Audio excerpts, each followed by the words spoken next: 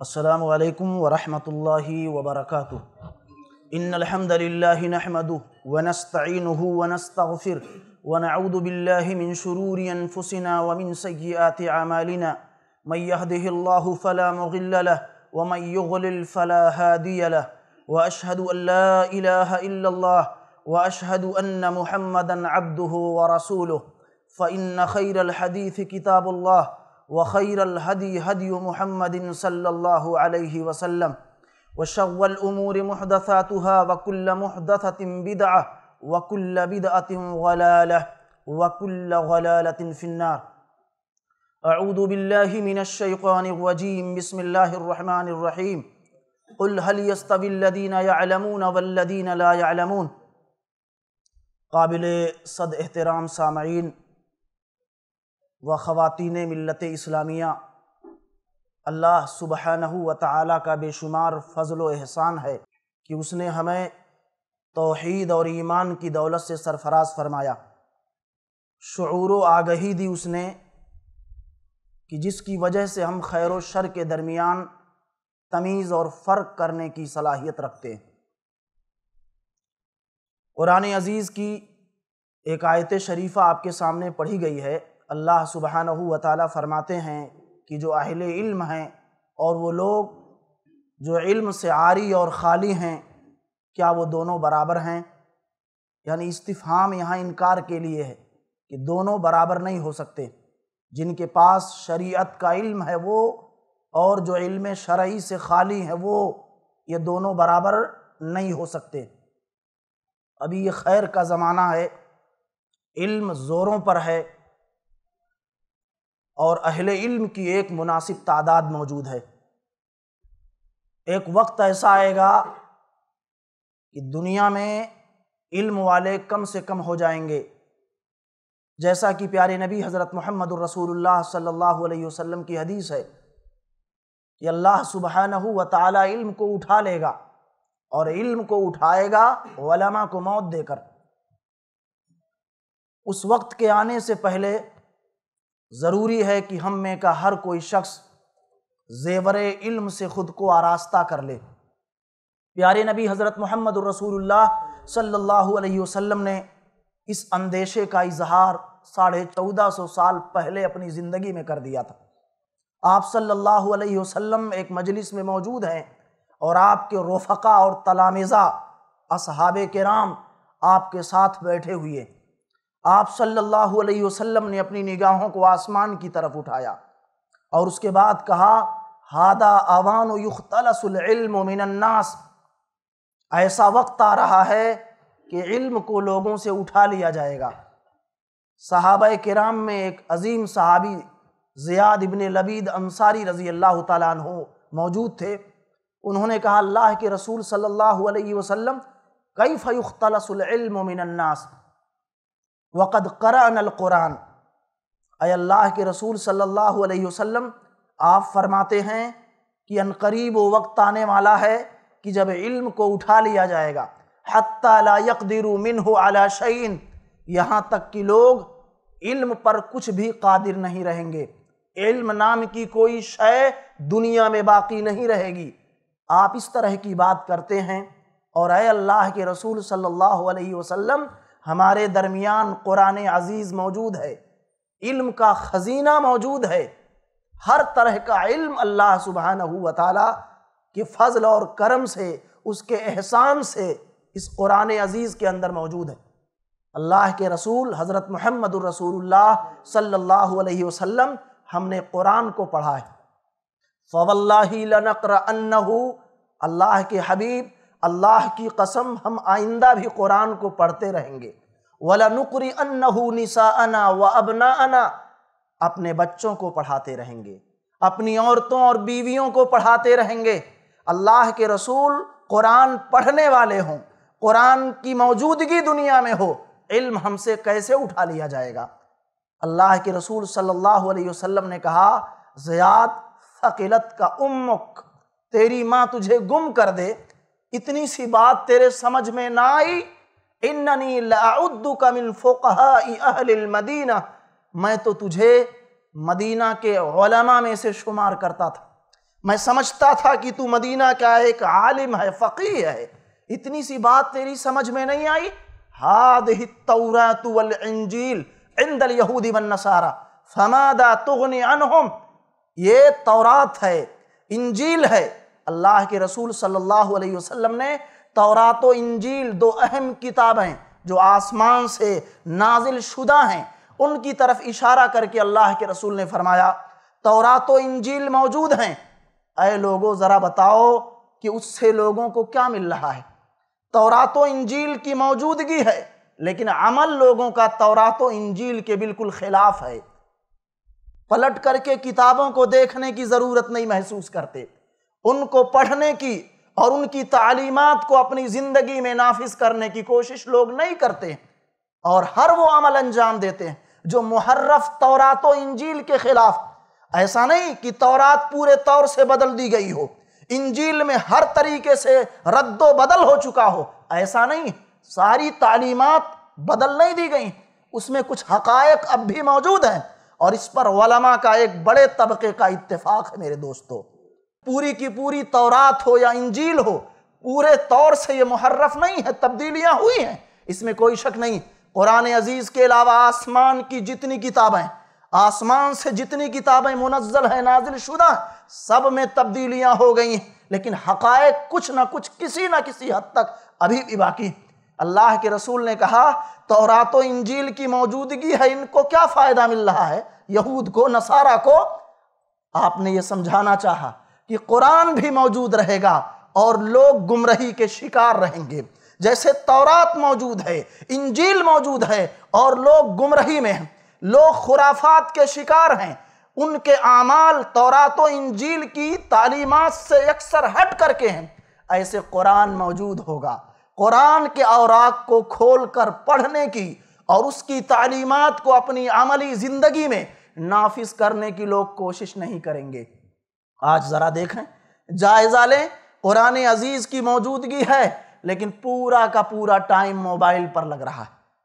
रात के तकरीबन दो दो बजे तक हमारा नौजवान तबका मोबाइल में लगा हुआ है, और कुरान के लिए उसके पास दस मिनट भी टाइम नहीं। नमाज़ के लिए, पाँच वक्त की नमाजों के लिए एक घंटा उसके पास टाइम नहीं है, चौबीस घंटे में से। ये बहुत बड़ा आलमिया हज़रत जुबैर इबन नुफैर रहमतुल्लाह इस हदीस के रावी हैं और उनके उस्ताद हैं हज़रत अबू दरदा रज़ी अल्लाह तला कहते हैं, जब मैंने इस हदीस को हज़रत अबू दरदा रदी अल्लाह तहों से सुनी तो इसकी तस्दीक के लिए मैं हज़रत उबादा इबन सामित रदी अल्लाह के पास आया। क्या ऐसा मुमकिन है? सहाबा ताज्जुब करते थे कि कुरान मौजूद हो और कुरान के मौजूद हों। पढ़ने, पढ़ाने वाले मौजूद हों। और इल्म नाम की कोई शय दुनिया में बाकी ना हो, क्या ऐसा मुमकिन है? इस हदीस की तस्दीक के लिए हज़रत जुबैर इबन नुफ़ैर रहमत एक अजीम सहाबी हज़रत उबादा इबन सामित रदी अल्लाह के पास आते हैं और कहते हैं कि आपके दोस्त, आपके साथी, नबी के सहाबी हज़रत अबू दरदा रदी अल्लाह ने ऐसी ऐसी हदीस बताई है। क्या ये बात सही है? आपने भी सुना है मोहम्मद अरबी सल्लल्लाहु अलैहि वसल्लम से? उन्होंने कहा, सदका अखी अबू दरदाई मेरे दोस्त, मेरे साथी अबू दरदा रदी अल्लाह ने सही कहा है।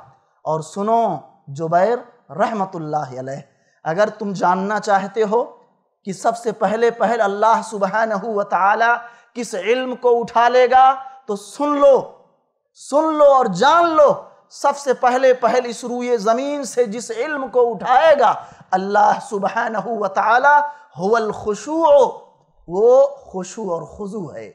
नमाज़ में अल्लाह पर तवज्जो, इनाबत इल्लाह पूरी की पूरी नमाज़ हो जाती है और एक दफ़ा भी बंदे की तवज्जो अल्लाह पर मरकूज नहीं होती है। एक बार भी अल्लाह के मुतालिक नहीं सोचता। एक बार भी ये ख्याल नहीं आता है कि हमारे रुकू पर, हमारे सजूद पर, हमारे आमाल सलात पर रब्बुल आलमीन की लतीफ़ और बारीक निगाहें मौजूद हैं। एक बार भी नहीं सोचता। पूरी नमाज़ जहनी इंतशार में गुजर जाती है। जसद और जिस्म के लिहाज से मस्जिद में बंदा होता है और ख्याल और ऐसी सूरत में उसका दिली जो रुझान मैलान है कहीं और होता है। ये बहुत बड़ा आलमिया कहा, अल्लाह सुबहानहू व तआला सबसे पहले इस इल्म को उठाएगा। खुशू और खुजू, नमाज़ में तवज्जो और ध्यान को रब पर लगा देना। इसको सहाबी रसूल ने कहा कि ये इल्म है, ये इल्म का एक हिस्सा है। अल्लाह सुबहानहू व तआला सबसे पहले इस इल्म को उठाएगा। और सुनिए, मैं आपको बताऊँ, हज़रत उबादा इबन सामित रज़ी अल्लाह ने कहा कि करीब है यूशिक अंतद खुला मस्जिद जमा बड़ी बड़ी मस्जिदों में जाओगे तुम। मस्जिद जमा में। जाम मस्जिद में जाओगे तुम। और फला तराफी ही रजुलन खाशिया। एक भी आदमी ऐसा नहीं दिखेगा जो खुशु और खुजू के साथ नमाज़ पढ़ने वाला हो। एक भी नमाजी के यहाँ खुशू जैसी अजीम नेमत मौजूद नहीं होगी। खुशू से खाली होगा। उसकी पूरी की पूरी नमाज़ खुशू और खुजू से खाली होगी। एक भी शख्स बड़ी बड़ी मस्जिदों में नहीं दिखाई देगा। इमाम तिरमिजी रहमतुल्लाह ने इस रिवायत को सोनन तिरमिजी में ज़िक्र किया है अबुआबुल इल्म के तहत। और ये बताना चाहा है उन्होंने कि खुशू और खुजू जो है नमाज़ में तवज्जो अल्लाह पर करना, ये भी इल्म का एक हिस्सा है।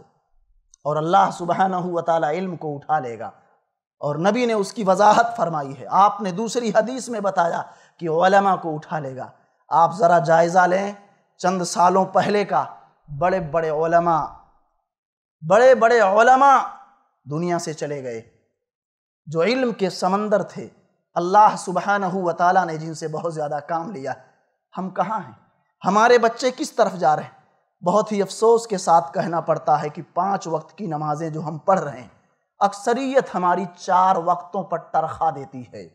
पांचवी नमाज़ उससे नहीं होती है। अक्सर फज्र की नमाज़ हमारी होती है सूरज के निकलने के बाद। और नमाज़ के जो आमाल हैं, अरकान हैं, आदाब हैं, अक्सर व बेशतर नमाजी। 24 घंटे में पाँच बार इस अजीम इबादत से हमारा आपका सबका होता है। लेकिन सबसे ज़्यादा खलल, सबसे ज़्यादा कमज़ोरी अगर किसी इबादत में है तो इबादत सलात में है। बहुत बड़ा अलमिया अक्सर व बेशतर लोगों को खड़े होने का सलीका नहीं। रुकू और सजूद का अंदाज उन्हें नहीं मालूम। वज़ू में खलल है, तहारत में खलल है। और बड़ी और बुनियादी बातें जानना तो ये तो बहुत दूर की बात। जो बड़ी ऊँची बातें हैं, उसूली बातें, अकीदे की बातें, इसलिए इल्म के हसूल की कोशिशें होनी चाहिए। आप देखें, इल्म दीन और शरई की जब बात की जाती है तो किताब सुन्नत ये अहम है। पूरा का पूरा इल्म शरई, कुरान। मुस्तफ़ा सल्लल्लाहु अलैहि वसल्लम की हदीस है। आप सल्लल्लाहु अलैहि वसल्लम के सहाबा ने और उनके बाद ताबईन एज़ाम ने, उनके बाद अतबाए ताबईन अम दीन ने हसूल इल्म के लिए कितनी कोशिशें की, कहाँ कहाँ चले गए? इमाम जहबी रहमत ने सियर आलामी नोबला में ज़िक्र किया है कि मोहम्मद अरबी सल्लल्लाहु अलैहि वसल्लम के सहाबा में से सात सहाबा का ज़िक्र ऐसा मिलता है, बलगना, हम तक ये बात पहुँची है, अन्नहुम हफिदुल कुरान फ़ी हयात नबी सल्लल्लाहु अलैहि वसल्लम। इतनी मेहनतें की, इतनी कोशिशें की उन सहाबा ने, सात सहाबा कि प्यारे मुस्तफ़ा की ज़िंदगी में उन्होंने कुरान अज़ीज़ को अनजहर कल्ब, ज़बानी याद कर लिया था। कुरान का नजूल इजलाल हो रहा है और सहाब किराम में से सात इतने अजीम सहाबा हैं कि पूरा का पूरा कुरान याद करते चल रहे हैं। जितनी आयतें नाजिल हो रही हैं, जितनी सूरतों का नजूल हो रहा है, उन सारी सूरतों और आयतों को वो जब्त करते जा रहे हैं, याद करते जा रहे हैं। यहाँ तक कि नजूल इजलाल ख़त्म हुआ कुरान अज़ीज़ का। और ये प्यारे मुस्तफ़ा सल्लल्लाहु अलैहि वसल्लम की ज़िंदगी में हाफिज़ कुरान बन गए। नबी की ज़िंदगी में ही ये पूरे कुरान के हाफिज थे। कौन सात सहाबा हैं? हज़रत उस्मान रज़ी अल्लाह हज़रत अली रज़ी अल्लाह तन हज़रत अब्दुल्ला इबन मसऊद रज़ी अल्लाह तन हज़रत अबू दरदा रज़ी अल्लाह तन ऐसे ही अबू मूसा अशरी रज़ी अल्लाह तन ओबई इबन काब रज़ी अल्लाह तन हज़रत जैद इबन साबित रज़ी अल्लाह तन सात सहाबा। इनके मुतालिक इमाम जहबी कहते हैं कि मुझे खबर लगी, मोतबर ज़रिए से ये खबर मुझ तक पहुँची कि प्यारे मुस्तफ़ा की ज़िंदगी में ये हाफिज़ कुरान हो गए थे। पूरे कुरान के हाफिज़। वरना खलफा राशिदीन अबू बकर और उमर रदी अल्लाह अनहुमा, ये भी कुरान के हाफिज थे। लेकिन नबी की ज़िंदगी में जिन्होंने कुरान को जबानी याद कर लिया था, वो ये सात सहाबा उस्मान रज़ी अल्लाह अली रज़ी अल्लाह और उनके बाद और पाँच का ज़िक्र मिलता है, जिनका ज़िक्र मैंने अभी आपके सामने किया। इतनी कोशिशें और मेहनतें की। कौन थे वो? बड़ी जिद्दोजहद उनकी शामिल रही है हिफ्ज कुरान में। चार सहाबा ऐसे थे कि जिनको अल्लाह के रसूल हज़रत मोहम्मद रसूलुल्लाह ने मुतन कर दिया था और सहाबा को पैगाम दिया था। आपने उभारा उनको और उनको तालीम दी थी कि कुरान अगर सीखना है तो इन बड़े बड़े सहाबा से सीखो। चार सहाबा के राम खुदुल कुरान अन अरबातिन। कुरान को इन चार सहाबा से, क्या मतलब चार के अलावा और सिखाना नहीं जानते थे? इनको फारिग कर दिया गया था। बेहतरीन अंदाज में कुरान पढ़ने वाले थे ये। और कुरान सिखाने के लिए इनको अल्लाह के रसूल ने खास कर दिया था। मिन अब्दुल्लाबिन मसूदिन वसालिमिन हज़रत अब्दुल्लाबिन मसूद हैं रज़ी अल्लाह सालिम रज़ी अल्लाह ताला हज़रत ओबई रज़ी अल्लाह ताला एक सहाबी और हैं। ओबई इबन काब रज़ी अल्लाह उनका ज़िक्र मिलता है। चार चार सहाबा, कहा, कुरान अज़ीज़ को इनसे सीखो। इतनी कोशिशें उन्होंने की। प्यारे नबी हज़रत मोहम्मद रसूलुल्लाह सल्लल्लाहु अलैहि वसल्लम आते हैं और कहते हैं अब्दुल्ला कुरान सुनाओ। अब्दुल्ला इबन मसूद रज़ी अल्लाह और एक मौके पर अल्लाह के रसूल सल्लल्लाहु अलैहि वसल्लम ने कहा था ये सही है, बुखारी की रिवायत है, जिसमें अल्लाह के रसूल ने चार सहाबा का नाम लिया और कहा इस्तक्र उल कुरान अन अरबातिन, इन चारों से कुरान को तलब करो, सीखो। इनसे सीखो।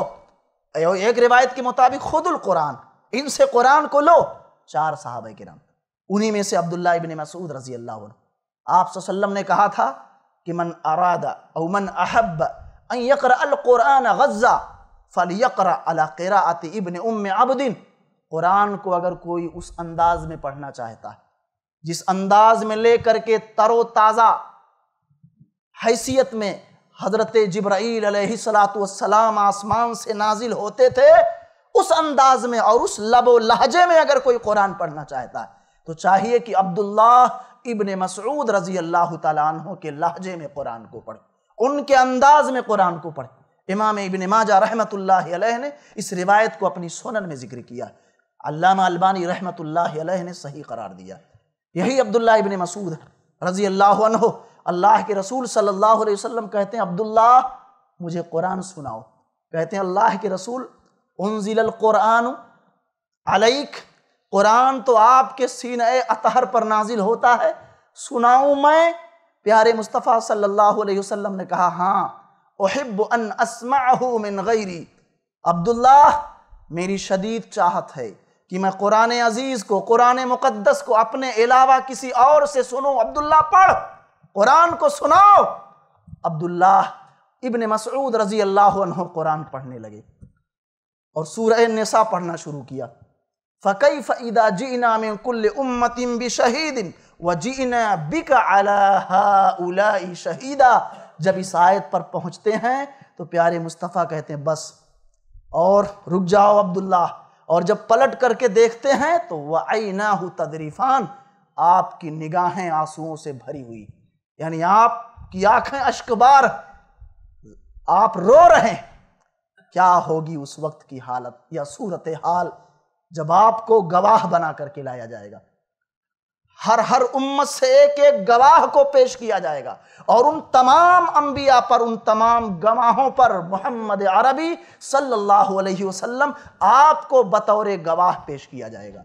जब तक मोहम्मद अरबी सल्लल्लाहु अलैहि वसल्लम की गवाही नहीं मिलेगी, तब तक अल्लाह सुबह वाली के हुजूर उसके दरबार से अम्बिया कराम को हटने की इजाज़त नहीं होगी। प्यारे मुस्तफ़ा सल्लल्लाहु अलैहि वसल्लम और उम्मत मोहम्मद ये हर हर नबी की शान में गवाही देंगे कि हर हर नबी ने तबलीग रसालत का काम अहसन तरीके से अंजाम दिया है। इस आयत पर जब आप पहुँचे सूरह निसा की तो अल्लाह के रसूल ने कहा, रुक जाओ, और रोने लगे। ये सूरत हाल ये हैसियत कि नबियों के ऊपर प्यारे मुस्तफ़ा को गवाह बनाकर, उम्मत मोहम्मद को गवाह बना करके हशर के मैदान में पेश किया जाएगा। ये गवाही देंगे तब हर हर नबी को अल्लाह सुबहान के हुजूर से हटने की इजाज़त होगी। इतना बड़ा मकाम मोहम्मद अरबी सल्लल्लाहु अलैहि वसल्लम का और आप सल्लल्लाहु अलैहि वसल्लम की उम्मत का बहरहाल कोशिशें की कोशिशें की। बकरियाँ चराने वाले लोग थे, इल्म से, तहजीब से आरी थे। कई एक ऐसे थे जिनको लिखना पढ़ना नहीं आता था, लेकिन कुरान सीखा उन्होंने। कुरान के जेवर से खुद को आरास्ता किया और रहते ज़मीन पर ज़िक्र खैर आसमान की बुलंदियों पर होता।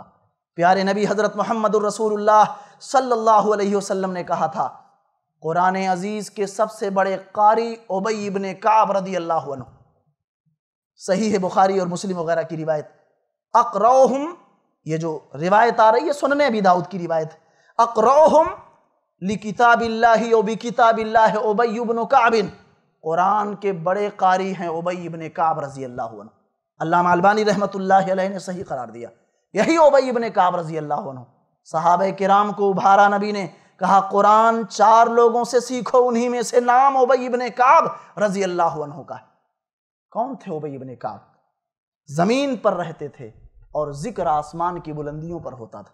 अल्लाह के रसूल सल्लल्लाहु अलैहि वसल्लम बैठे, कहा ओबई रदी अल्लाह अल्लाह सुबहानहु व तआला ने मुझे हुक्म दिया है। अमरनी रब्बी अन अकरा अलई यकुन कफर किताब, कि मैं सूरह बैना की तुम्हारे ऊपर तिलावत करूँ, तुम्हारे पास सूरह बैना पढ़ूं, चूँकि अहले किताब में से थे। हज़रत ओबई इब्न काब रदी अल्लाह और सूरह बैना लम यकुन कफर मिन अहलिल किताब के अंदर अल्लाह सुबहानहु व ने अहले किताब में से ईमान लाने वालों के फ़जाइल और उनके मनाकब का ज़िक्र किया है। उनके बुलंद दराजात का ज़िक्र किया है। उनके जन्नती होने की खबर दी है। और अहले किताब में से जो गुमगश्ता थे, जिन्होंने मोहम्मद अरबी सल्लल्लाहु अलैहि वसल्लम की तालीमत को पसे पुश्त डाल दिया, कुरान अज़ीज़ को अपने सीने से नहीं लगाया, नबी की तालीम से इनहराफ किया अल्लाह सुबहानहु व ताला ने उनकी जिल्लत, पस्ती और इदबार का ज़िक्र किया है और उनके लिए जो जहन्नम में सज़ा तैयार है, उसका ज़िक्र किया है। इसीलिए अहले किताब में से चूँकि थे, अल्लाह के रसूल को हुक्म होता है कि ओबई इबन काब रज़ी अल्लाह हो जो अहले किताब में से थे, उनके पास आप सूरह बैना पढ़ो, जब तिलावत करने लगे अल्लाह के रसूल। तो हज़रत ओबई रज़ी अल्लाह ने पूछा, अल्लाह के नबी हज़रत मोहम्मद रसूलुल्लाह असम्मानी अल्लाह, कि अल्लाह ने मेरा नाम लेकर के कहा कि ओबई के पास कुरान पढ़िए, अल्लाह ने नाम लिया है मेरा। तो प्यारे मुस्तफ़ा सल्लल्लाहु अलैहि वसल्लम ने कहा, सम्माक अल्लाह वजल्ला ओ भाई रदी अल्लाह अन अल्लाह सुबहानहु व ने तेरा नाम लेकर के कहा कि ओबई के पास सूरह बैना की तिलावत करो। अरश मोल्ला का मालिक, कायनात का मालिक, रब नाम लेकर के कह रहा है कि ओबई के पास कुरान पढ़ो रज़ी अल्लाह ये सुनना था कि फब का ओबईन ओबई रज़ी अल्लाह रो पड़े। बिल्कुल सही रिवायत। गालिबा सही है बुखारी की रिवायत। रो पड़े, ज़िक्र आसमानों पर हो रहा है। अजीम किताब है और एक मौके पर अल्लाह के रसूल ने कहा था, अगले और पिछले तमाम लोगों के ओलूम से अगर कोई शख्स रोशनास होना चाहता है तमाम ओलूम पर अगर वो दस्तरस हासिल करना चाहता है फल कुराना। कुरान को पढ़े वो। कुरान को पढ़े वो। कुरान की आयतों को हिरज जा बनाए। फ़ैन अल्लाह जमाफ़ी वलाखरीन अल्लाह ने अगले और पिछले तमाम लोगों के ओलूम को कुरान अज़ीज़ में जमा कर दिया सही रिवायत है ये। अगले पिछले तमाम लोगों के ओलूम को अल्लाह ने कुरान में जमा किया है। तो सहाबा ने कुरान को याद करने के लिए बड़ी कोशिशें की, बड़ी मेहनतें की। उनकी किबरे सनी उन्हें हसूल इल्म से ना रोक सकी। कितने ऐसे थे जो बुज़ुर्ग हो गए थे, बड़े बूढ़े थे मुतवसित दर्जे की उम्र वाले थे। कोई पचास के ऊपर, कोई पचास के नीचे, लेकिन कुरान सीखते थे। अल्लाह के रसूल सल्लल्लाहु अलैहि वसल्लम के पास बैठकर कुरान लिखते थे, किताबत कुरान का काम करते, याद करते थे। दूसरों तक पहुँचाने की कोशिश करते थे। आप ज़रा सोचें गालिबन नाम है अमर इबन सलमा या उमर इबन सलमा। जब ईमान लाए और ये जायजा लिया गया कि कौम में कौन है जिसके पास कुरान सबसे ज़्यादा है तो उन्होंने कहा था कि लोगों ने मुझे पाया।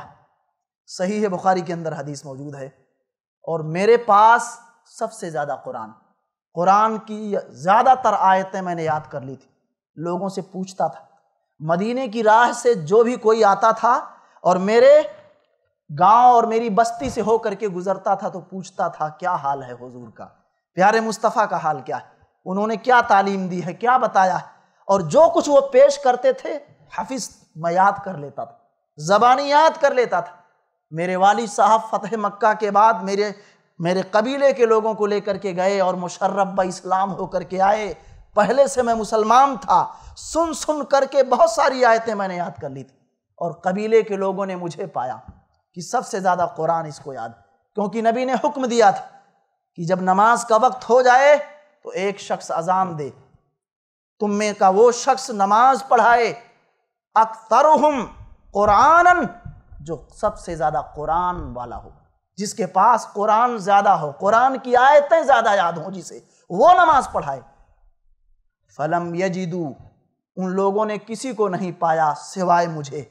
और मुझे फ़कत दमूनी बैन अदीम उन्होंने मुझे अपने आगे बढ़ा लिया, अपना इमाम बना लिया।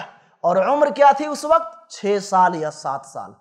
छः साल या सात साल का बच्चा पूरी कौम की इमामत करवा रहा है। और कभी कभी वो पिछला हिस्सा बदन का खुल जाता था। औरतों की तरफ़ से शिकायत आती थी कि अपने कारी की पिछली शर्मगाह को जरा छुपाओ और लोगों ने आपस में मिल करके कलेक्शन करके एक कपड़ा खरीदा। अल्लाह की कसम, मेरे लिए कपड़ा खरीदा। इतनी खुशी हुई उस कपड़े को पाकर कि उतनी खुशी किसी और मौके पर ना हुई। सही है, बुखारी में लंबी रिवायत। छः या सात साल का बच्चा और कुरान की मुतद सूरतें और आयतें याद हैं। और कौम की इमामत कर रहा ये जिद्दोजहद और मेहनत लगन के नतीजे में था और तोफ़ी के इलाही के नतीजे में था। इसलिए मेहनतों की ज़रूरत है। चंद सूरतें नहीं याद हैं लोगों को। याद हैं तो भुलवा रहे हैं लोग। जिनको कुरान देख करके पढ़ना आता है, इतनी लापरवाही और गफलत के शिकार हैं ये मुसलमान।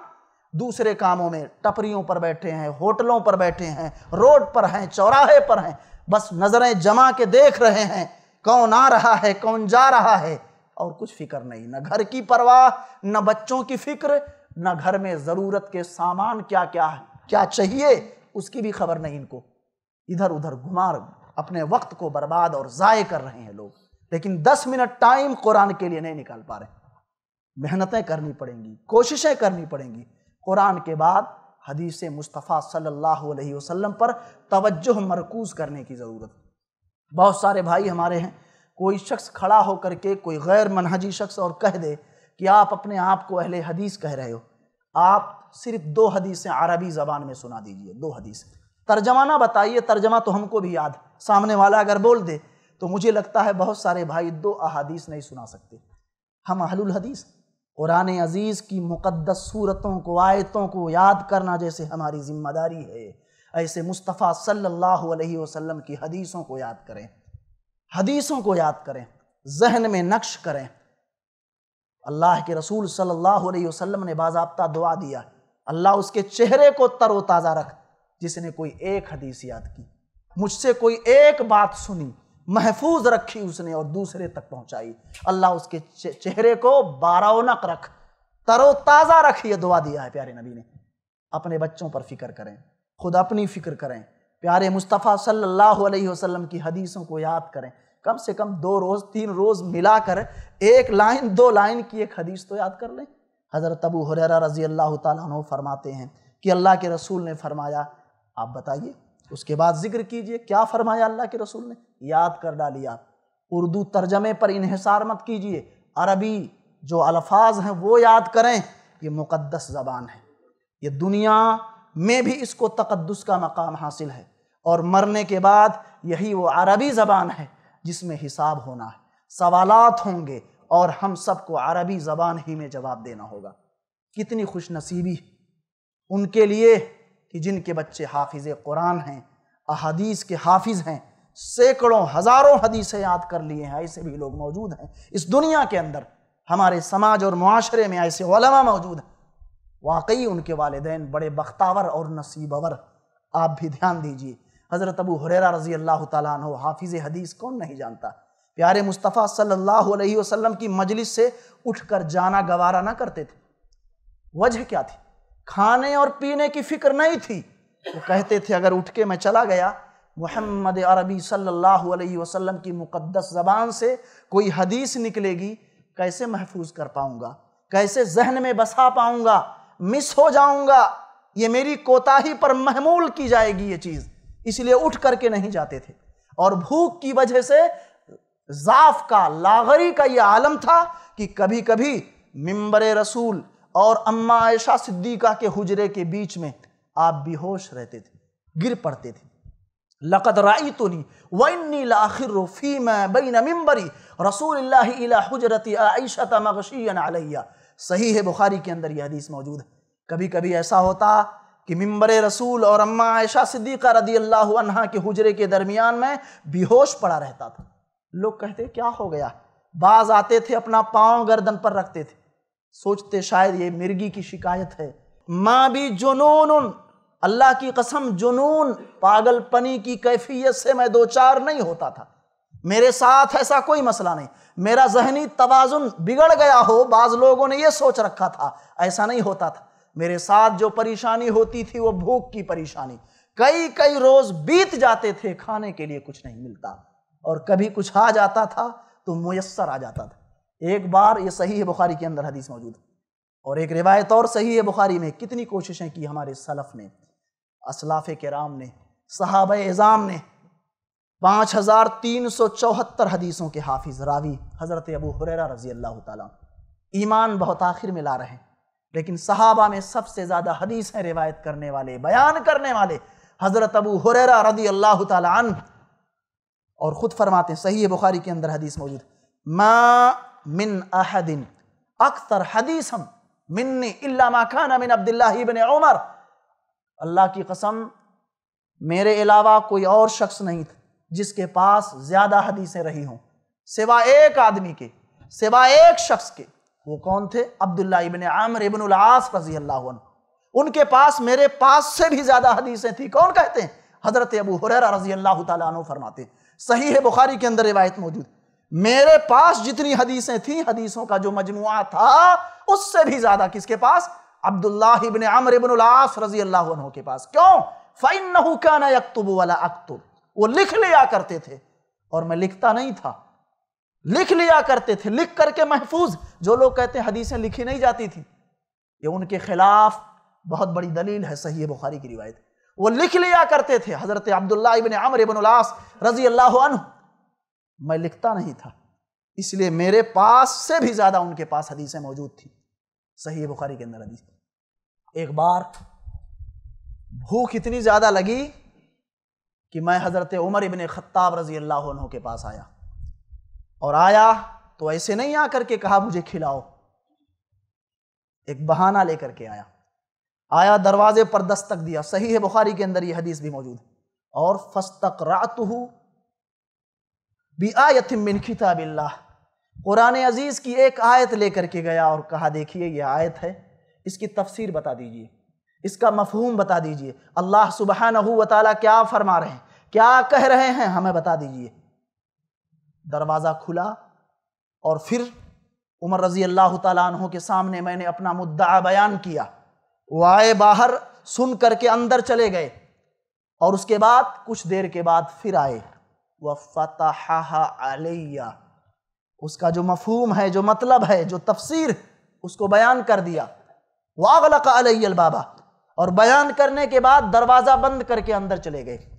मैं सोचता था शायद पूछेंगे, अबू हुररा, कुछ खाए पिए हो? खाने पीने की कुछ हाजत है, ज़रूरत है? लेकिन बस जहन में नहीं आई बात। और बता दिया, मेरे मसले को उन्होंने हल कर दिया और अंदर चले गए, दरवाज़ा बंद कर लिया। फरजा तो मैं पलटा, अभी थोड़ी ही दूर गया था। फ़खर तु लिवज ही मिनल जहद। भूख की वजह से मैं जाकर के ज़मीन पर गिर पड़ा। आगे चल करके मैं ज़मीन पर गिर पड़ा। और मैं फिर क्या देख रहा हूँ कि प्यारे मुस्तफ़ा सल्लल्लाहु अलैहि वसल्लम खड़े हैं। वह अकामनी, मुझे आपने खड़ा किया, मेरे हाथ को पकड़ा। वह अकामनी, और मुझे उठाया और कहा, अबू हरेरा, चलो। घर पे ले गए। बाज बीवियों से कहा कि खाने पीने की कोई शय है? एक प्याला दूध लाया गया और उसके बाद नबी ने कहा, पियो। मैंने पिया, फिर अल्लाह के रसूल ने कहा, उद वशरब, फिर से पियो अबू हुरैरा, फिर मैं पिया और शिकम शेर होकर पिया, खूब पिया। भूख खत्म, जिद्दोजहद, परेशानियाँ, मशक्क़तें, न खाने की फ़िक्र, न पीने की फ़िक्र। इसलिए मुस्तफ़ा सल्लल्लाहु अलैहि वसल्लम की हदीस याद करने। एक अजीम सहाबी अजीम सहाबी है। प्यारे नबी हज़रत मोहम्मद रसूलुल्लाह दुनिया से चले गए। उस वक्त आपकी उम्र तेरह साल हज़रत अब्दुल्ला इबन अब्बास रज़ी अल्लाह अहल बैत अतहार में से अजीम मकाम है। हबरुलम्मा है उम्मत के बहुत बड़े आलिम दीन।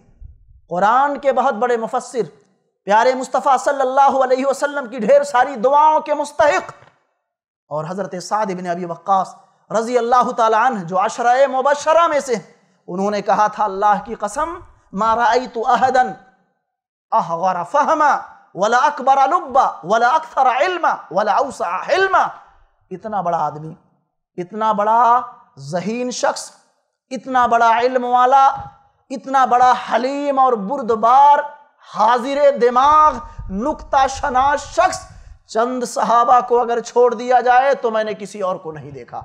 नाम क्या है? अब्दुल्ला इब्न अब्बास रज़ी अल्लाह प्यारे मुस्तफ़ा सल्लल्लाहु अलैहि वसल्लम की ढेर सारी दुआओं के मुस्तक आप दुनिया से गए तो उम्र महज तेरह साल है। और तेरह साल का बच्चा आज ये शूर से खाली होता है। बहुत सारी चीज़ों का पता नहीं होता। खैर और शर की तमीज़ नहीं कर पाता। तेरह साल के हैं। और शौक ज़रा देखिए। शौक देखिए। मुस्तफ़ा सल्लल्लाहु अलैहि वसल्लम की वफ़ात के बाद आते हैं एक अंसारी सहाबी के पास। और कहते हैं, चलो चलो, नबी अलैहिस्सलाम की हदीसों को सुना जाए। चलो, नबी के छोड़े हुए इल्म को हासिल कर लिया जाए। इसलिए कि नबी के बड़े बड़े सहाबा भी मौजूद हैं। नबी के बड़े बड़े सहाबा भी मौजूद हैं, चल करके, और उनके सामने जानुए तलमुस को तह किया जाए, उनसे सीख लिया जाए, ताकि इल्म का जखीरा हो जाए हमारे पास। वो सहाबी रसूल, जो अंसारी सहाबी हैं कहते हैं, अतरन्नासी हताजून इलैक वफिन्नासी मिन असहाब नबी सल्लल्लाहु अलैहि वसल्लम कफ़ीर। क्या आपका ये ख्याल है अब्दुल्ला कि लोग इल्म के लिए आपकी तरफ़ रुजू हों? आप ये सोचते हैं? तो सुनो, अभी नबी के सहाबा में कई बड़े बड़े लोग मौजूद हैं। बड़े बड़े जहबज इल्म के समंदर मौजूद है। कौन आपके पास आएगा इल्म सीखने के लिए? अगर ये जज्बा है तो अभी बड़े बड़े लोग मौजूद हैं। अभी आप खामोश रहो। इनकार कर दिया उन्होंने। जाने से। कहा बड़े बड़े सहाबा मौजूद हैं। लोग उनसे रुजू हो रहे हैं, उनसे सीख रहे हैं, वो सिखा रहे हैं, वो बता रहे हैं। और आप चाहते हो कि इल्म सीखें ताकि लोग आपकी तरफ़ रुजू हो? हज़रत अब्दुल्ला फरमाते हैं फ़तरक तो वाकबल तो इल्म। मैंने उनको छोड़ दिया। मेरे अंदर शिद्दत हिरस इल्म के तई इस कदर था कि उनको मैंने छोड़ दिया और छोड़ करके बड़े बड़े सहाबा के पास आता मैं। उनसे सीखता। मुझे खबर लगती कि मुस्तफ़ा सल्लल्लाहु अलैहि वसल्लम की कोई हदीस किसी सहाबी के पास है। मैं दरवाजे पर चला जाता, चौखट पर चला जाता, बुलवाता नहीं। आज हमारे यहाँ क्या है? मोली साहब को बुला लो, हज़ार रुपया महीने का दे दो, बच्चे को अरबी पढ़ा के चले जाएँगे, ट्यूशन दे देंगे। ये इल्म की तोहन है, नाकदरी। और इल्म की तोहन आप कर रहे हैं। हम लोग कर रहे हैं। इल्म को जलील कर रहे हैं। इल्म के हसूल के लिए चलकर जाना पड़ता है।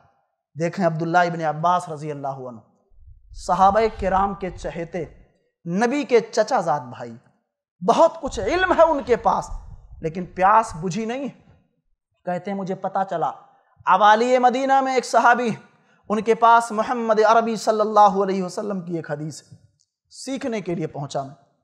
वक्त कैलूला का था। जोहर की नमाज़ पढ़कर कुछ खा पी के सहाबी रसूल घर में आराम फरमा रहे। उसी वक्त मैं पहुँचा। मैंने क्या किया? फतवसत तुरेदाई। मैंने चादर उठाई जो गर्दन पर थी और उसको तकिया बना लिया और अपने सर के नीचे रख लिया। दरवाजे के बाजू में लेट गया और सख्त गर्मी है, धूप का जमाना है। हवाएँ चल रही हैं, रेत के जर्रात उड़ रहे हैं, बदन पर पड़ रहे हैं। मैंने किसी चीज़ की परवाह नहीं की और असर तक पड़ा रहा। मकसद क्या था? कि ये कैलूला का वक्त है। सहाबी रसूल घर में आराम फरमा रहे हैं। दरवाजे पर दस्तक देना मुनासिब नहीं है। आएँगे, उनके आराम में खलल वाक़ होगा। जब असर की नमाज़ के लिए उठेंगे और दरवाज़ा खोलेंगे तो मैं भी बेदार हो जाऊँगा। और साथों साथ चल करके मस्जिद नबी में नमाज़ पढ़ेंगे और तब तक बहुत कुछ पूछने का मौका मिल जाएगा। हदीस मुस्तफ़ा लेने का मौका मिल जाएगा। सो गया। असर की नमाज़ के लिए जब उठे, दरवाज़ा खुला तो मैं बेदार हो गया। और देखते ही वो अर्त हैरत में पड़ गए। ज़मीन पर लेटा हुआ देखा और वहाँ से उठते हुए देखा, कहा, मल्लदी जाक, क्या चीज़ है जिसकी वजह से तुम हो? आने का सबब क्या है? वजह क्या है? क्यों आए हो आप? कहा, मैंने सुना कि मोहम्मद अरबी सल्लल्लाहु अलैहि वसल्लम की एक हदीस आपके पास है, जिसको मैंने नबी से बराह रास्त नहीं सुना। उस एक हदीस को लेने के लिए आया उसे सुनने के लिए आपके पास आया साहबी रसूल ने क्या कहा? हल्लन अरसलता इलैया, आप क्यों चल करके आए? यबन अम्म रसूल सल्लल्लाहु अलैहि वसल्लम, नबी के चचाजाद भाई आपको चल कर आने की ज़रूरत नहीं थी। आपने मुझे क्यों नहीं बुला भेजा? किसी शख्स को भेज देते, वो आके मुझे बुला कर लेके चला जाता। मैं आपके दरवाजे पर आता, वहाँ मुस्तफ़ा की हदीस पढ़ देता। तो क्या कहा उन्होंने? अल इल्म इल्म इस बात का ज़्यादा हक रखता है कि उसकी तरफ़ चल करके जाया जाए। पहले इल्म को दौड़ाया ना जाए, इल्म के पास चल करके जाया जाए। ये हक बनता है कि इल्म के पास चल करके हम जाएँ, अहले इल्म के पास चल करके हम पहुँचे। ये उन्होंने ये रिवायत मुस्तदरक कल सही है इनके अंदर और हदीस की कई किताबों में इमाम हाकिम रहमत कहते हैं सही है बुखारी और मुस्लिम दोनों की शर्तों पर यह रिवायत उतर रही। इमाम जहबी रहमत फरमाते हैं कि सही है बुखारी की शर्तों पर मुकम्मल ये रिवायत उतर रही है, बिल्कुल अथेंटिक रिवायत। सही है बुखारी की जो शर्तें हैं, वो तमाम शर्तें इसके अंदर पाई जाती कैसे थे हमारे सलफ? हज़रत उमर रज़ी अल्लाह तु फाजिल सहाबी, आपने जाना। इनके बारे में बहुत कुछ जानते हैं। खलीफ़ सानी हैं। अल्लाह के रसूल ने यहाँ तक फरमा दिया, माँ लकीय का शैतान सालिकन फज्जन इल्ला साल का गैर फज्जिक। सही है बुखारी के अल्फाज। शैतान जब किसी गली में आपको देखता है और उसकी मुलाकात होती है तो दूर भाग जाता है गली को बदल लेता है, रास्ता बदल लेता है ये। तुम्हारी ये शान। ईहन यबन अल खत्ताब। अय खत्ताब के बेटे उमर, तुम्हारी ये शान है कि शैतान दूर भाग जाता है, रास्ता ही चेंज कर देता। है उमर रज़ी अल्लाह मदीने में सहाबी रसूल इतबान इबन मालिक बारी लगा लिया था। एक दिन काम पर आप जाना, जिस दिन काम पर आप जाओगे, अंसारी सहाबी उस दिन मैं मुस्तफ़ा सल्लल्लाहु अलैहि वसल्लम के पास जाऊँगा। नबी की मजलिस में शरीक हूँगा जो कुछ बताएँगे, वो सब कुछ ले करके शाम को आपके पास आ करके आपको बता दूँगा। और उसके बाद दूसरे दिन मैं काम पर जाऊँगा। आप नबी की मजलिस में आना, आप सीखना, आप सुनना और शाम को आकर के मुझे बता देना। कुन्ना नतना वबुन्नजूला अला रसूल सल्लल्लाहु यौमन व अनजिलु यौमा हमने बारी लगा ली थी। हमने आपस में बारियाँ लगा ली थी मुतयन कर ली थी। एक दिन वो अल्लाह के रसूल के पास जाते थे और एक दिन मैं अल्लाह के रसूल के पास जाता था। और फिर एक दूसरे आपस में मिल बैठ कर आपस में तबादला ख्याल करते थे। जो कुछ हमने सुना होता था हम उनको बता देते और वो जो कुछ सुन करके आते वो हमको बता देते थे। सही है, बुखारी के अंदर ये रिवायत मौजूद। इमाम बुखारी रहमत ने सही बुखारी में बाबा एक बाब कायम किया। बाब तनाउब फिल इल्म इल्म में बारियाँ मुतन करना। आपको कोई ये नहीं कहता, कारोबार छोड़ दो आप। कारोबार मत छोड़ो, लेकिन कुछ वक्त निकालो। समय निकालो। आप सिर्फ़ वज़ू को देखो, गुसल जनाबत को देखो आप। आठ आठ बच्चों के बाप हैं और अब तक नहाने और गुसल करने का तरीका मालूम नहीं। क्या लंबी चौड़ी बात करते दुनिया में खैर फैलाने के लिए हमको और आपको भेजा गया दुनिया से अंधेरों को ख़त्म करने के लिए भेजा गया है। हम खुद जुल्मत और तारीकी में तामक टोइयाँ मार रहे हैं। हमको बहुत सारी चीज़ों का पता नहीं। कितनी अहम और बुनियादी बातें ऐसी हैं जिनसे आप वाकिफ नहीं हैं। ये आपकी ज़िम्मेदारी है। तलबुल इल्म फरीगतन मुस्लिम। इल्म का हासिल करना हर मुसलमान पर फ़र्ज़ है। कम से कम इतना इल्म हो जाए कि शब रोज़ के मसाइल हल कर लें आप। नमाज़, रोज़ा, ज़क़़त, हज, तहारत, जनाबत, गुसल, जनाजा, ये सारे मसाइल आपको अजबर हो जाने चाहिए। इसमें आपको दर्क हो। इतनी चीज़ें जाननी और सीखनी आपके लिए ज़रूरी हैं। कोई ये नहीं कहता, आप अल्लामा बन जाइए मुहदस बन जाइए, हाफिज कुरान बनना ज़रूरी ही ज़रूरी है, ऐसा नहीं। लेकिन इतना इल्म हो कि आपकी ज़िंदगी महजब हो जाए, शाइस्ता हो जाए आप। ये इल्म जो है ये बहुत बड़ी दौलत है। तरक्की के लिए जामिन है ये। और ये अल्लाह सुबहानहू व की तरफ़ से दी हुई एक नेमत। इस इल्म से जो शख्स महरूम हो जाए, समझ लीजिए मुसीबत है उसके लिए। और सलफ में से बाज ने तो यहाँ तक कह दिया कि खाने और पीने की जिस कदर ज़रूरत होती है कि इंसान को उससे ज़्यादा ज़रूरत इल्म की है, उसकी वजह बयान करते हुए कहा कि खाने और पीने की ज़रूरत कभी कभी होती है। खाने और पीने की ज़रूरत कभी कभी होती है, दिन में दो और तीन बार होती है, लेकिन इल्म की ज़रूरत कदम कदम पर होती है। वो शख्स जो इल्म से महरूम हो जाए, वो शख्स जो इल्म से आरी और खाली हो, उसकी ज़िंदगी हैवानों की ज़िंदगी, जानवरों की ज़िंदगी है, यहाँ तक कह दिया। इसलिए सीखिए आप। ताल्लम फलैसल मर यूलद आलिमा, सीखिए आप। कोई माँ के पेट से सीख करके नहीं आता है। ताल्लम फलैसल मर यूलद आलिमा वलई साखू इल्मिन कमन हुआ जाहिलू। सीखिए आप, कोई आलिम बन करके पैदा नहीं होता है। और वो शख्स जो इल्म वाला है, उसका मुकाबला वो शख्स नहीं कर सकता है जो जहल में डूबा हुआ है। जिसके पास जहालत, इल्म नहीं है, वो शख्स इल्म वाले का मुकाबला नहीं कर सकता। व इन कबीर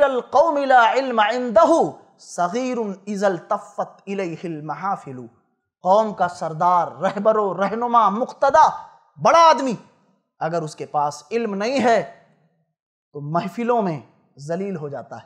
उसकी दो चार बातों से लोग समझ लेते हैं कि यह सतहियत का शिकार है, कुछ नहीं है। खाली खोली, उसकी वैल्यू कम हो जाती है। हैसियत कम हो जाती है। वह इन कबीर इजल तफ़त महाफिलू। जब महफिलें मुनाकिद होती हैं, सजाई जाती हैं तो ऐसा इल्म छोटा हो जाता है। अगर इल्म नहीं है और कौम का सरदार है तो महफिलों में बैठ करके छोटा हो जाता है वो। उसकी कोई वैल्यू नहीं। लोग कद्र की निगाह से देखना तक छोड़ देते हैं। इसलिए इल्म को हासिल करें आप। प्यारे नबी हज़रत मोहम्मद रसूलुल्लाह सल्लल्लाहु अलैहि वसल्लम के एक सहाबी हैं, हज़रत जाबिर रज़ी अल्लाह मदीना मुनव्वरा मुशर्रफ़ा के अंदर मौजूद हैं। और इनको खबर लगी कि शाम के अंदर एक सहाबी हैं अब्दुल्ला इबन ओनैस रज़ी अल्लाह आप जानते हैं कि इस्लाम की तबलीग के लिए, प्रचार प्रसार के लिए मुस्तफ़ा सल्लल्लाहु अलैहि वसल्लम की वफ़ात के बाद जब ममलकत इस्लामिया के हदूद में इजाफा हुआ, उसात हुई और इस्लामी सल्तनत उसात पजीरी की तरफ़ बढ़ी तो कई एक सहाबा मुख्तलिफ़ अतराफ में फैल गए अलग अलग शहरों में चले गए ताकि वहाँ तालीम को आम करें।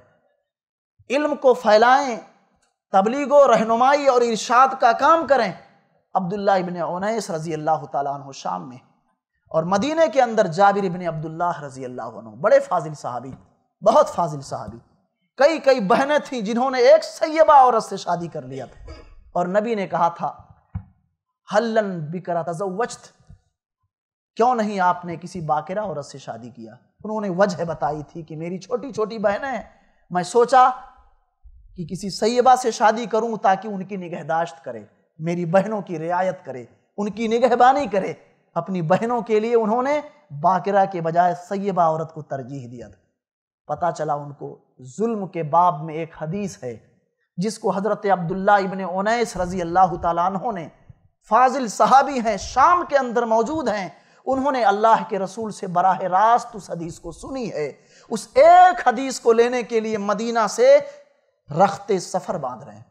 मदीना से सफ़र कर रहे हैं और कहाँ जा रहे हैं? शाम। आपका भी दौरा होता है। कभी सूरत जाते हैं आप, कभी बनारस का सफ़र करते हैं आप, कभी और दीगर शहरों की तरफ़ कसद और इरादा करते हैं आप। मकसद क्या होता है? कारोबार। तजारत को फ़रोग देना, माल लाना, खरीदना, देखना यह आपका काम। लेकिन उन्होंने क्या किया? एक हदीस को लेने के लिए। दो चार, दस नहीं, सिर्फ़ एक हदीस को हासिल करने के लिए जुल्म के बाब में, जुल्म से मुतालिक वो हदीस उस एक को लेने के लिए शाम जा रहे और कैसे जा रहे हैं? कह रहे हैं फब तु बईरा बईरा, ट्रेन का सफ़र नहीं हवाई जहाज़ का रास्ता नहीं हवाई जहाज़ मौजूद नहीं है, ये जो वसाइल हैं, सैर व सयाहत के लिए, ये सब कुछ नहीं थे, कुछ भी नहीं थे। उन्होंने एक ऊँट खरीदा वह शदत तो ही रहली, और सामान्य सफ़र उस ऊँट के ऊपर मैंने बांधा।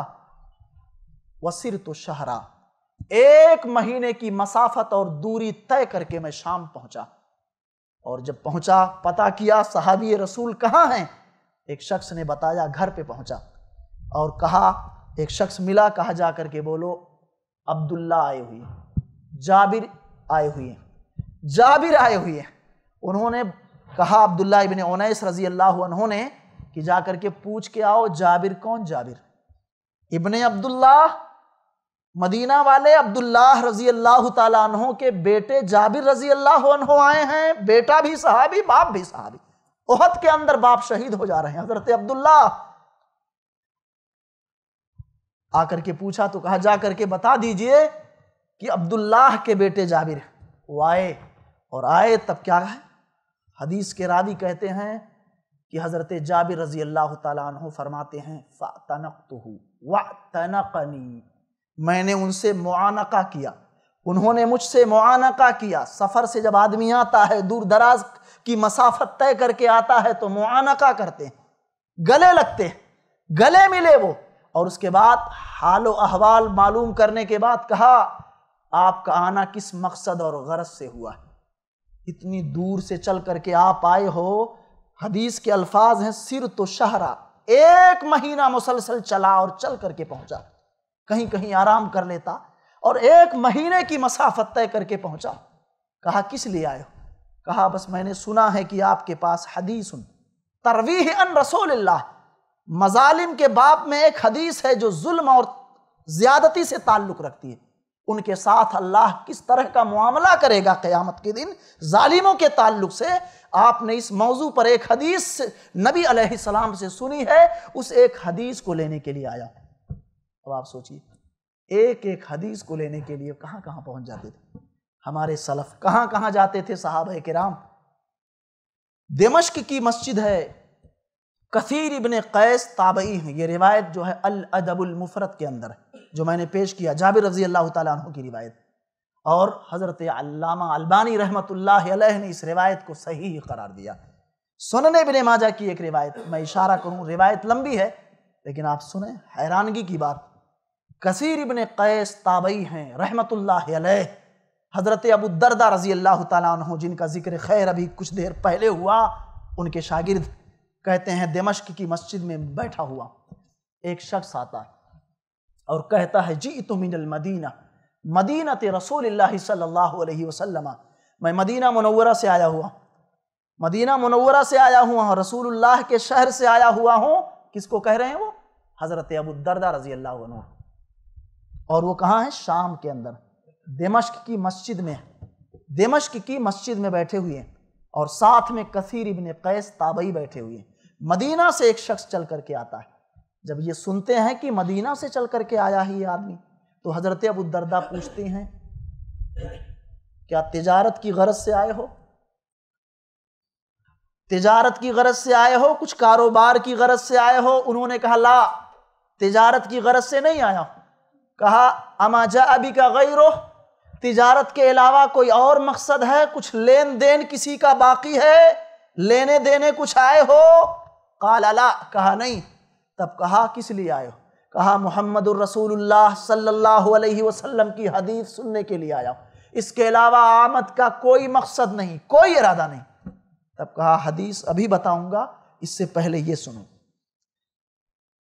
इल्म के हसूल के लिए अल्लाह के रसूल सल्लल्लाहु अलैहि वसल्लम की जो हदीस है, और जो उसके फ़जाइल अल्लाह के नबी ने बताए हैं, उस हदीस को पढ़ करके उन्होंने सुनाया। एक तालब इल्म है, मदीने से चल करके आ रहा है, नबी सलाम की हदीस सीखने के लिए इल्म के हसूल के अलावा कोई और गर्ज नहीं, कोई और मकसद नहीं है। उस पर उनके हौसले को बुलंद करने के लिए, हौसला बढ़ाने के लिए नबी की पहले इस हदीस को सुनाया। कौन सी हदीस? हज़रत अबू दरदा फरमाते हैं कि मैंने मोहम्मद अरबी सल्लल्लाहु अलैहि वसल्लम से सुना। आप फरमा रहे थे मनसल का तरीक़न यलतमिसफ़ी है इल्मा सहल्लाहु बिही तरीक़न इलल जन्ना इल्म के हसूल के लिए आदमी जब सफ़र करे, रास्ता चले तो ऐसी सूरत में जन्नत की राह उसके लिए आसान और हमवार हो जाती है। और सुनो, व इन्नल यसना. अल्लाह के फरिश्ते, इल्म के हसूल में जो लोग सरगर्दा होते हैं वो छोटा हो, बड़ा हो, बूढ़ा हो, जवान हो, कोई भी कसे बाशद अल्लाह सुबहानहू व के फरिश्ते अपने परों को बिछा देते हैं। उनके पाँव के नीचे अपने परों को बिछा देते हैं। व तालिबल इल्म मनफिसमाई व मनफिल अर्द फिल्मा और जो इल्म का हासिल करने वाला होता है, तालिब इल्म, अल्लाह के रसूल ने यह भी फरमाया है कि उनके लिए ज़मीन व आसमान की तमाम चीज़ें मगफरत और बख्शिश की दुआएँ करती हत्तल हीतान फिल्मा हत्ता की मछलियाँ पानियों से हो करके उनके लिए दुआएँ करती व अंबिया, और उससे पहले उन्होंने कहा कि जो ओलमा हैं, अंबिया के वारिस हैं, इससे पहले, इस टुकड़े से पहले अल्लाह के रसूल सल्लल्लाहु अलैहि वसल्लम के जो अल्फाज हैं, वो यूँ हैं हज़रत अबू दरदा रज़ी अल्लाह तु फरमाते हैं व इन फ़ल आलमी आबिद कि आलिम की फजीलत इबादत करने वाले शख्स पर। कौन इबादत करने वाला? कि आलिम इबादत करने वाला नहीं होता है होता है। लेकिन आबिद वो जो फ़राइज़ के अलावा नवाफिल का बड़ा अहतमाम करता हो। नफली रोज़े भी रखता है, नफली नमाजें भी पढ़ता है, नफली सदक़ात व खैरात भी करता है और वलमा इल्म के हसूल में लगे रहते हैं। फ़राइज़ तो अदा करते ही करते हैं, लेकिन नवाफिल का बहुत ज़्यादा अहतमाम नहीं कर पाते, क्योंकि हसूल इल्म में वो अपना ज़्यादा वक्त लगाते हैं। वल्लाह के रसूल ने यह भी फरमाया, हज़रत अबू दरदा रज़ी अल्लाह तु फरमाते हैं कि की फ़जीलत इबादत गुजारों पर ऐसे है, जैसे चाँद की फजीलत तमाम सितारों और सैारों पर है।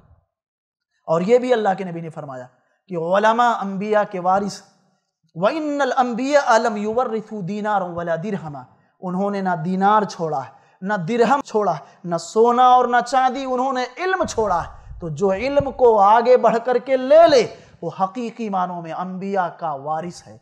अंबिया ने जो कुछ बतौर तरीका के छोड़ा है, यानी इल्म, उसको जिन्होंने भी ले लिया, वो वलमा के वारिस वो वलमा के, और जो जितना ले ले, वो उतना ही ज़्यादा अंबिया के तरीके का मुस्तक है और अम्बिया अलहमसलात व तस्लीम की सुन्नतों और उनके तरीक़े पर चलने वाला है।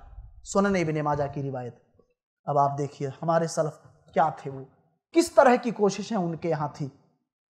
आप इमाम बुखारी रहमत को जानते हैं। यतीम थे। यतीम थे इमाम बुखारी रहमत लेकिन मक्का गए, मदीना गए, मिस्र गए, शाम गए, मुख्तलिफ़ बिलादो अमसार का उन्होंने रुख किया। माँ ने उनको पढ़ाया। माँ ने उनकी तालीम और तरबियत का नज्म किया। अल्लाह से रो रो करके उनके लिए दुआएँ किया। चीथड़े बाँध कर, पाँव में पहनने के लिए चप्पल और जूते नहीं होते थे, चीथड़े बाँध करके चलना पड़ा। पाँव फट जाते थे। और अमीरुल मोमिनीन फिल हदीस कहलाए। उनकी किताब सही है बुखारी। कुरान अज़ीज़ के बाद उम्मत का मुतफ़ा फैसला है। कि जो सबसे ज़्यादा जलालत शान वाली किताब है सही तरीन किताब है, वो सही है बुखारी है कुरान अज़ीज़ के बाद। एक यतीम बच्चे थे और माँ ने उनकी तालीम और तरबियत का नज्म किया।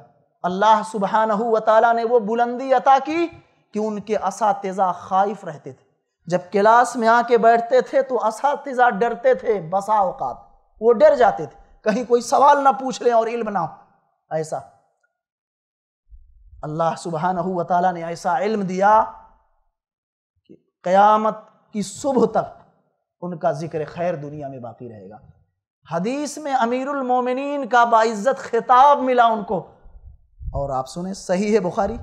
सात हज़ार तकरीबन पाँच सौ तिरसठ रिवायतें मुकर्रात के साथ।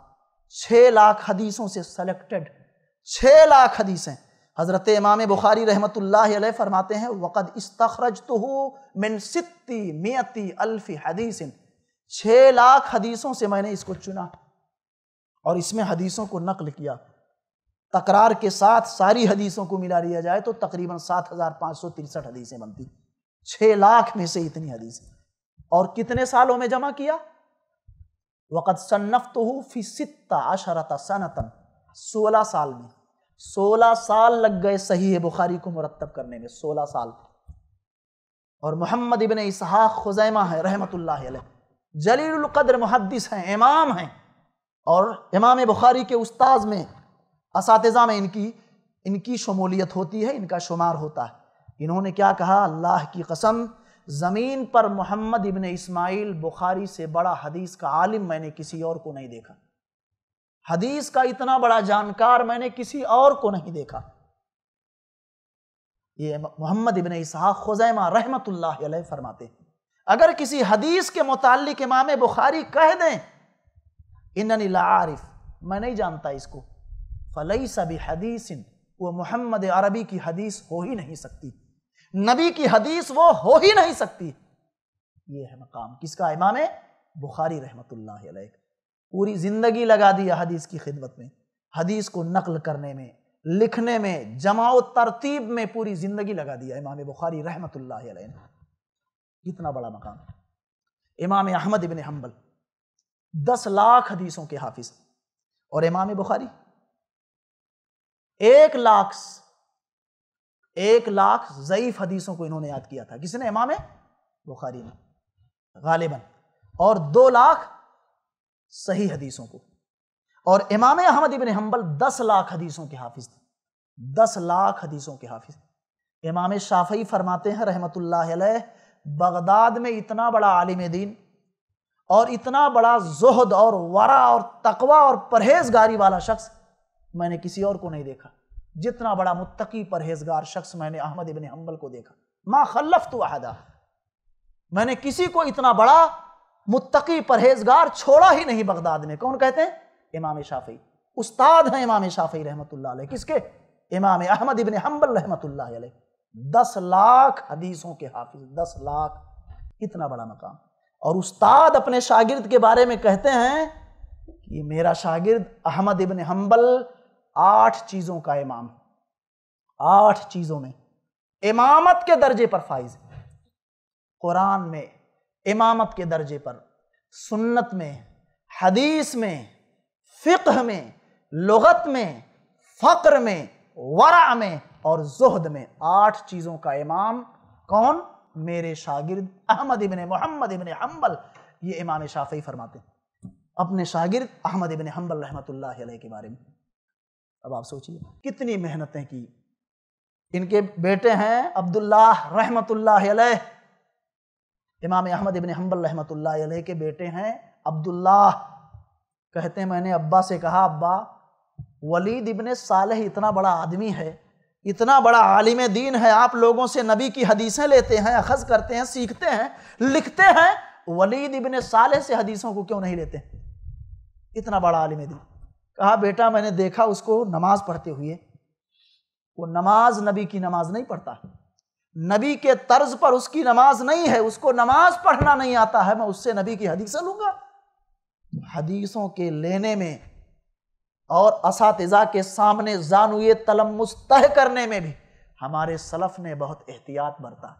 हर कसो नाकस के पास बैठकर इल्म नहीं लेते थे, उनका जायजा लेते थे, उनको जांचते थे, उनको देखते थे कि इसके पास सिर्फ़ इल्म है या अमल भी है, और हकीकी मानों में आलिम वही है अल्लदी या अमलबिमा या आलम जो अपने इल्म के मुताबिक अमल करता हो।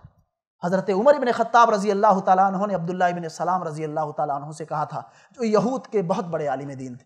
अब्दुल्ला बिन सलाम रज़ी अल्लाह तु नबी सलाम से तीन सवाल किए थे और कहा था कि अगर इन तीनों के जवाब आप बता दें तो आपको मैं अपना नबी मान लेता हूँ। आप पर ईमान ले आता हूँ। अल्लाह के रसूल थोड़ी देर तक खामोश रहे और उसके बाद कहा अभी अभी जिब्राइल ने आकर के मुझे तेरे तीनों सवालों के जवाब बताए। अभी अभी अभी अभी जिब्राइल ने मुझे तेरे तीनों सवालों के जवाब बताए और तीनों सवालों के जवाब बता दिया उन्होंने और ये कलिमा पढ़ करके मुसलमान बन गए। अहले किताब के, यानी यहूद के सबसे बड़े आलिम, अब्दुल्ला इबन सलाम। आलमना वबनो आलमिना, अशरफना वबनो अशरफना। सही है बुखारी के अल्फाज हैं यहूदियों ने कहा था अब्दुल्ला इबन सलाम के बारे में कि हमारे सबसे बड़े आलिम, सबसे बड़े आलिम बाप के बेटे हैं, सबसे शरीफ हैं और सबसे ज़्यादा शराफत और नजाबत में बढ़े हुए बाप के बेटे हैं ये। अब्दुल्ला इबन सलाम, हज़रत उमर इबन खत्ताब रज़ी अल्लाह तु जैसे अजीम, जहबत शख्स, खलीफा हैं और सवाल किससे कर रहे हैं? अब्दुल्ला इबन सलाम से। मन अरबाबुल इल्म इल्म वाले कौन हैं? किन को आलिम कहा जाए? कौन आलिम है? तब कहा था, अल्लदीन यामलून बिमा यालमून। अल्लदीन यामलून बिमा यालमून वलमा वो हैं, अरबाब इल्म वो हैं, जो अपने इल्म के मुताबिक अमल करते हैं। अगर अमल नहीं तो इल्म के समंदर हों, सब कुछ बेकार। बर्बाद हैं वो लोग, जालिम हैं वो लोग, मुजरिम हैं वो लोग, जिनके पास मुनासिब हद तक इल्म हो, मगर वो इल्म उनको अमल पर ना उभार रहा हो। इसलिए ओलमा की पहचान करें आप, इल्म वाले।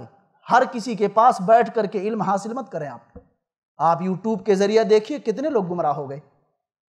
प्यारे नबी हज़रत मोहम्मद रसूलुल्लाह सल्लल्लाहु अलैहि वसल्लम ने जहाँ ये बात बताई कि क़ुरब क़यामत अल्लाह तआला इल्म उठा लेगा। इल्म की कमी हो जाएगी। कम से कम हो जाएगा इल्म। वही प्यारे नबी ने यह भी बताया था, इन्ना मिना शरात असागिर।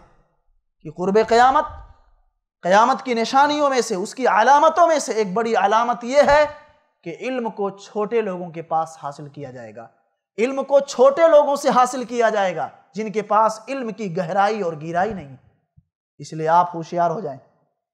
वलमा से इल्म हासिल करें। उनसे इकतसाब फैज़ करें आप। उनसे सीखें, मसाइल उनसे पूछें। इसी में खैर है, इसी में भलाई है मेरे भाइयों। सलफ ने बड़ी कोशिशें की, बड़ी मेहनतें की आप देखें तो हैरानगी होगी आपको। बड़े बड़े उलमा। मदीने के अंदर इमाम मालिक रहमतुल्लाह हैं। हम्माद इबन जैद रहमतुल्लाह इमाम अबू हनीफा रहमतुल्लाह के शागिर्द हैं। कहते हैं, मदीने में ऐलान हो रहा था अल्लाह युफ्ती फिल मदीनत इल्ला मालिक इब्न अनस।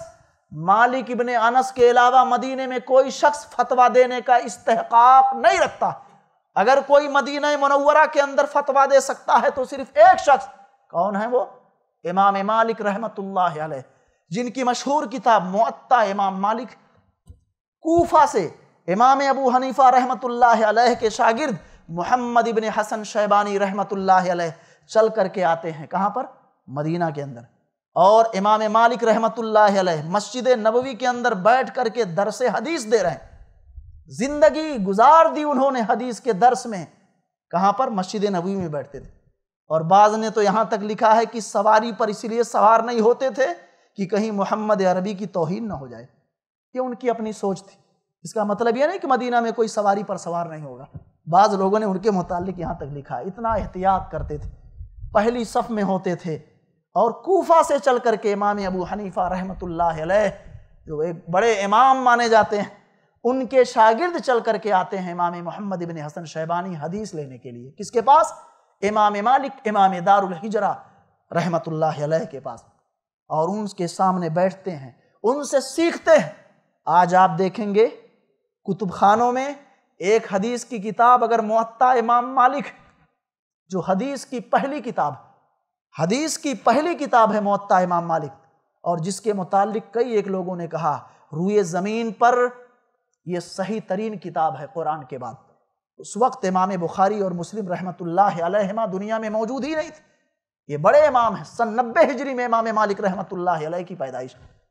कुतुब खानों में एक किताब अगर मुअत्ता इमाम मालिक मिलेगी आपको तो एक किताब मिलेगी मुअत्ता इमाम मोहम्मद इबन हसन शैबानी में।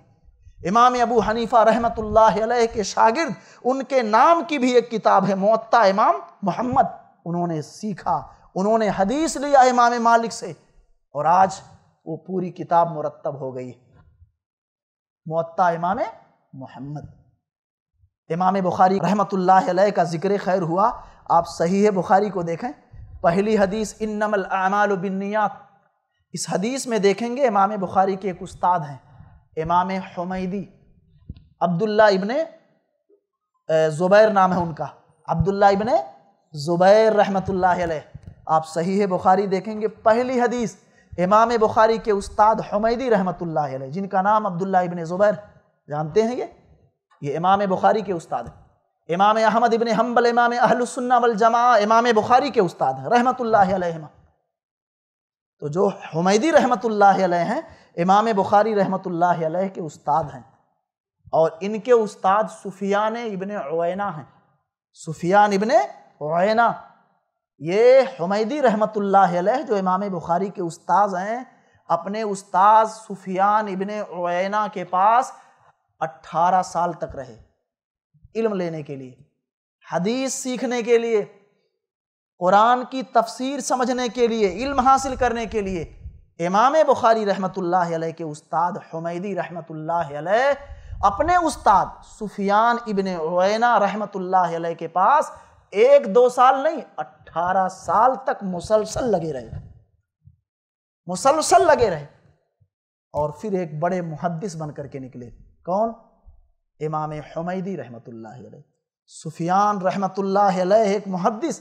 उनके शागिर्द इमाम हमैदी अलैह एक मुहद्दिस, जो इमाम बुखारी के उस्ताद। और फिर हमैदी रहमत के उस्ताद इमाम बुखारी। पहली हदीस सही बुखारी में इमाम बुखारी अलैह ने अपने उस्ताज मोहतरम हमैदी रहमत से ज़िक्र की। पहली हदीस है। इन नमलामाल बिनियात व इन नमालिकुल्लमरी मानमा वाली हदीस। तो कितना टाइम दिया? दस दस साल, अठारह अठारह साल। इतना वक्त लगाया था सहाबा ने। ताबईन ने अम दीन ने तब ताबईन ने। बड़ी कोशिशें की, बड़ी मेहनतें की। कितनों के ताल्लुक से तो ये बात आती है कि शादियाँ तक उन्होंने नहीं की। हसूल इल्म की राह में ये चीज़ रुकावट न बन जाए। बीवी और बच्चों की देख रेख उनके खर्चे बर्चे, अखराजात को जमा करने में वक्त ज़ाय हो जाएगा। इसलिए कई एक लोग जो अपने आप को गुनाह से बचा सकते थे, जिना जैसे खबीस गुनाह से अपने आप को रोक सकते थे, अपने आप पर कंट्रोल रखते थे, इल्म के हसूल में इस कदर सरगर्दा रहे, लगे रहे कि शादियाँ तक नहीं की। ये सूरत हाल थी। आज जो जखीरा मौजूद है, इल्म का, हदीस का, ये ऐसे नहीं आया है। सही है बुखारी मुकम्मल सही है मुस्लिम मुकम्मल, सुनने अबी दाऊद, सुनने तिरमिजी, सुनने नसई, सुनने तिरमिजी वगैरह जो हदीस की किताबें मौजूद हैं मुरतब हैं और जमा शुदा हैं, सही अलग हैं ज़यीफ़ अलग हैं, इतनी आसानियों से नहीं। बड़ी मेहनतें की। एक एक हदीस के लिए कहाँ गए? आज पूरी सही है बुखारी मौजूद है। पूरी सही है बुखारी मौजूद है। और लाओ उलट करके ज़रा देख लें क्या है। इसकी भी ज़रूरत नहीं महसूस करते लोग।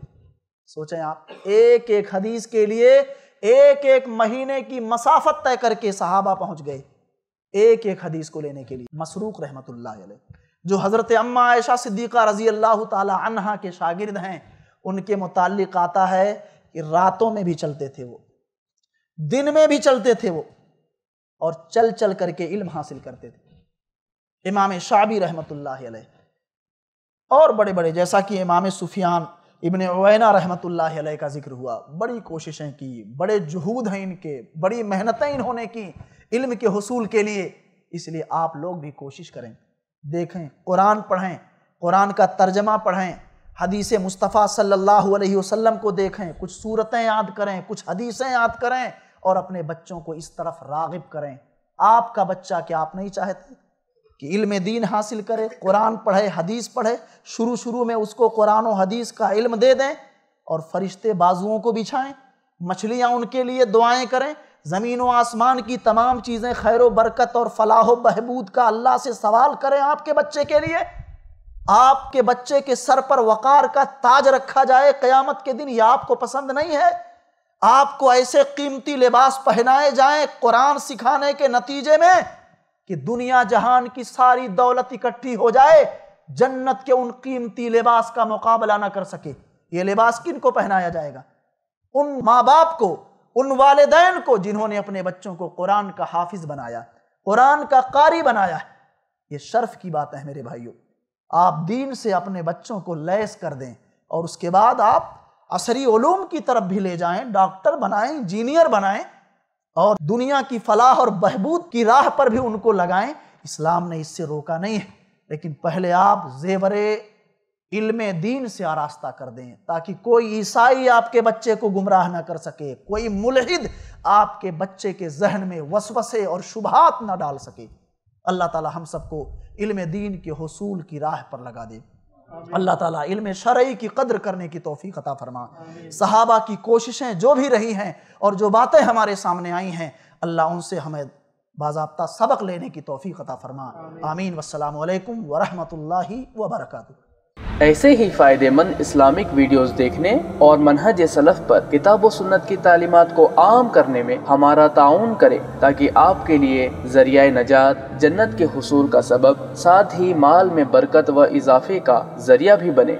आमीन। जजाक खैरन।